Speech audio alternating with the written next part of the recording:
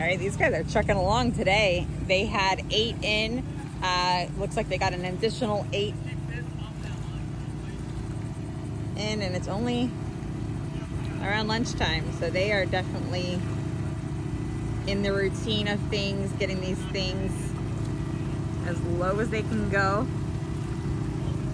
Wind has picked up a little bit. Uh, you can tell by it's not as glassy as it was my last post. So we got a little bit of waves going on here. Nothing too crazy.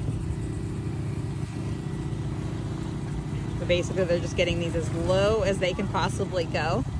Um, and then once everything is done, they'll get to the correct height, level it off, and then these will end up being cut off um, because the through flow is going to be, after all their framing and stuff is done, this is pretty much the finished product right here that you'll end up seeing. So the through flow allows the waves to come up through it rather than doing a hurricane, hitting up against it and just completely popping off those wood boards.